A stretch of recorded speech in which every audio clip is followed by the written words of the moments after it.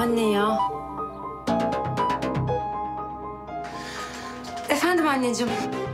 Neredesin? Burak'ta kaldım. Hemen çıkıyorsun o evden. Hemen çıkıyorsun o psikopatın yanından. Ne oldu ya? Bir şey mi oldu? Sana hemen çıkıyorsun o evden dedim. Ay anne şimdi mi aklına geldi psikopat olduğu? Derya. Bak beni oraya getirtme.